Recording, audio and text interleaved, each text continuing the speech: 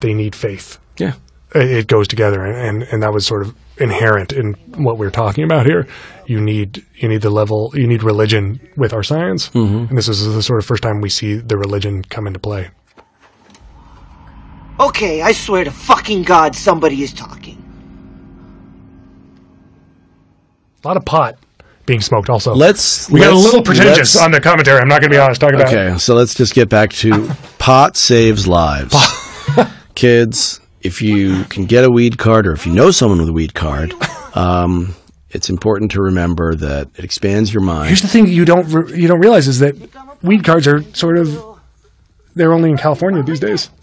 The rest of the world doesn't know about weed cards yet. So Oh, I'm so sorry. So if you can get somebody to purchase marijuana for you legally uh, at, a, at a pharmacy, that's what I'm talking about. For those of you who don't understand weed card, I apologize. It's, uh, it's a, turns out it's a local thing. Um, but um, you know, it, it, in, a, in a way, I, this uh, for me is like the my favorite moment in, in Super Eight, which is such a love letter to the '80s movies, and the kids just go, "Drugs are so bad." It's like it's so bald, so like I just love just putting it out there. Like let's just let's just have it out there. Um, yeah. By the way, though, if because I get this question all the time, and now I can answer this on the commentary. Uh, people ask all the time, uh, "What's the difference between working with JJ and what's the difference between working with Joss?" The difference between working with JJ is, and the difference between working with Joss is, on one hand, you have drugs are so bad, and on the other hand, you have drugs save the world. Yes, well, destroy it, but be, through through careful thought and, and empathy. We are abandoned. I don't even know. That, would you say that the drugs destroy the world? In No, this no, movie? I'm saying I, I feel like that's the whole reason that saves everything. yeah. I'm not saying you do drugs. I'm just saying that's the difference. I've not. I've never personally. You've heard about what Um, drugs are like. You know, I read about them in a in a beatnik book.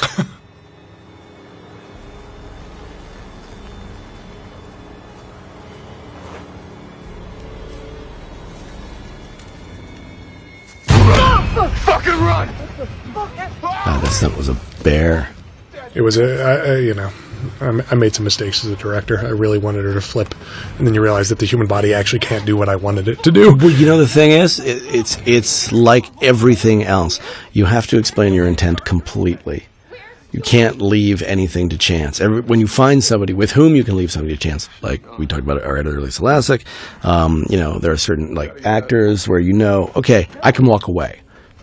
You're one of the people that I have that with, where I can walk away, which I did many times to go get drunk earlier than you, and um, uh, and read about weed because I've I've heard about that. Um, you uh, you know you you need those people because it's so hard, and and there was a just a big miscommunication about how she was supposed to flip, and they had the wrong They had the rig. wrong rig, and it didn't. And But but, I think it came out. It's But it- fine. That's it one of the things that, about But I remember, directing is like it seems so important at the time. yeah. how the body's going to flip, and then you watch it and you're like, oh, this works fine. Well, we, we got a flip that was not unlike what we were looking for at the end. That's right. Not- I, I really wanted exactly, to go ass over tea kettle, as I say. By the way, Oh, you Chris, made that phrase up? I always wondered. Yeah, I don't know if I made it it's up. I've because heard it. It's because you have a tea I've kettle. it. I have a tea kettle. And I so like you- tea. So that shot right there. So Chris Hemsworth. Oh, uh, yeah. For that shot in particular, I'm watching that through the viewfinder, and right here as he's giving the speech, and I go, and the the hair stood up on the back of my neck, and I was like, oh my god, this guy's an action Oh, star. I remember exactly. I said, "Oh my God, he's a movie star," and you said, "Yeah, it was nice knowing him." I know. It, it, it was that feeling of like, oh, hol- and we called the studio that night. We watched the dailies from today because Hemsworth is off the charts good. Yeah. Like, and that, so, and they they watched the dailies and immediately cast him in Red Dawn. like boom, Which, and then a week after that, he got Thor. I mean, it was Two days. really. Was it? Yeah, two days. got got Red Dawn on a Thursday, Thor on a Saturday. God, that's crazy. I was like, Friday must have been a hell for you, a dark, scary hell. And he said, I say with some embarrassment that I was, he's like, I know I should be grateful about the one thing, but I'm only thinking about the other. Friday was a little tough. But uh, no, I remember we, we we put the camera lower. Like we want him to be an action figure. We, we we want we want him to be you know a hero, and we want the ceiling behind him, which both gives him like body and and makes it more of a, a horror space. And then we were just like, oh, and of course I was like, well, it's Captain America. That's right. I remember that because Chris had a friend that had tested for Thor, and he tested. Uh, no, but before that had yeah. happened, and and we were like, "Why aren't you testing for Thor? You're clearly Thor, but then you were like, no, no, he's more Captain America. So it became an argument, and then luckily it all worked out for everyone. I, I, I lost. No, he had actually tested, and he just said it hadn't gone well. Oh, and then he sort of went back in. I think. Um, yeah, no, I, uh, I'm very happy to have lost that argument. I remember when he says, uh, "Where's when they when." Uh, Dana says, "Where's Jules?" and he says, "She's gone."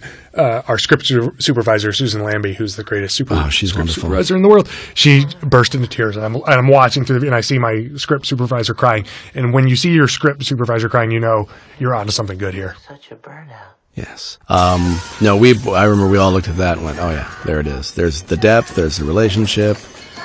Um, it matters now." And that was the thing that was so important. You know, when you watch movies like this, so often these kids don't care about each other. Yeah. They it's just like they get killed, and it's like fuck it, run. Yeah. let's go. And it was so important for all five of them to care about one another and have that feel the feel the relationships that take place off the screen. And to their credit, all five of our kids got that. Yeah. They, they worked really hard to sort of to And make those relationships work. Well, one of the you know movie sets. This was my first time leaving California on any job since Waterworld, and uh, um, and that sort of insular we're all together thing. You know, they can either you know drive each other nuts, or they can really you know pull for each other. And these guys really got close. It was nice.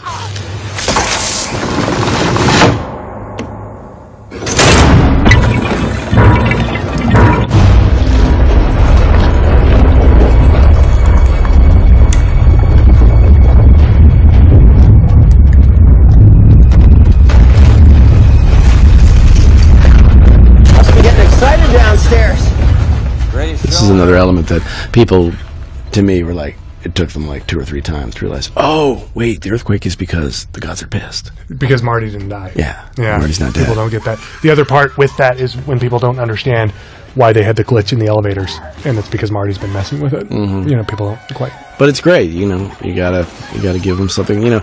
We got to use the bong twice more after we introduced it. We got to use the window again after we introduced it. Like, having those things, just like, it, you know, and Right. knowing you can come back to them, it's one of the great joys of writing for me. Is, It, it's taken me 15 years of screenwriting to realize that how much of screenwriting is just set up and payoff. Mm-hmm. You just need to set up and pay off, and and we do it throughout. It's it's But- why you know, it's why the Merman tests so well. It was Mm-hmm. Right. it was the top of everyone's sheet, and if you look at it, we talk about the Merman for maybe five sentences total in this entire no, movie. It's so few, small. and yet it pops because it is so clear in terms of setup and payoff.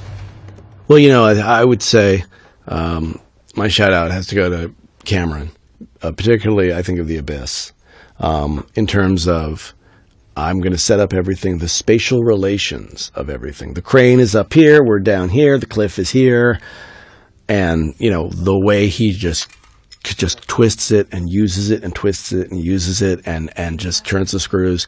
Um, that There's nobody so- better. I mean, we've talked about this in terms Yeah. of structure.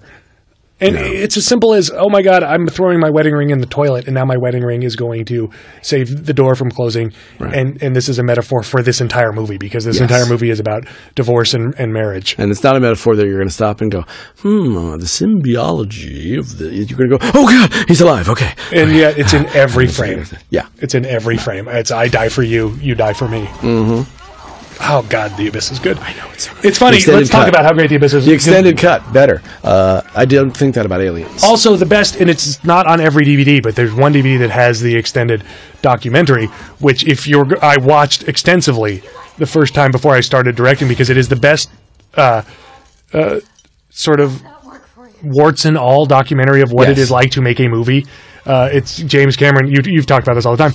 Uh, after an 18-hour day, upside down decompressing while he's editing dailies, Yeah. and you realize like, oh, this is what movie making is, and no matter what I'm about to go through on Cabin, it's not going to be worse than what he went through on The Abyss. so. So don't complain, Drew. Like you, Yeah. you realize, like, okay, this is if you've signed on for this job, this job is hard, and uh, if if you think it's as if, you think it's hard on you, uh, James Cameron has made it hard on him much Yeah. worse.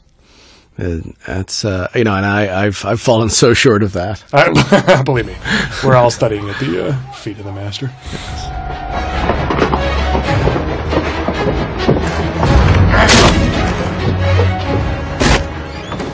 Oh, I just remember testing that and breaking the door. I forgot about something like this. when the door broke, I was like, "Oh yeah." You you didn't know your own strength. Oh yeah. That, you got that Hulk strength. Thor. Who's stronger, Hulk or Thor? Hulk is stronger. Hulk is strongest one there is. Who would win in a fight? Thor has a big hammer. Okay, there you go. you heard it here first. Um, uh, we we haven't talked about Japanese horror movies and how much we love them and how much fun it was. Well, Oh I God. this I got to do, which was which was a gift from you. A, a, That, a uh, reluctant gift because Yes, we no, I knew it was, it was only a schedule thing that you would ever allow me to to take the It's mantle so on good. this. I remember rehearsing with these girls though. They yeah, they're so nice. It's just they so lovely. this is this is what makes life good. And again, uh, first thing that the studio wanted to cut, not Lionsgate, by the way. Yeah. Um, we shouldn't besmirch Lionsgate, but it, it falls in that same category that you're talking about of confusing versus Right. Well, we did so much to shore it up. You, the, the other scenarios that we did, you know, after the fact, and having to dig for all the like footage we could use because we couldn't afford to get new footage. Um, and yet it does boil down to either you get it or you don't. Yeah.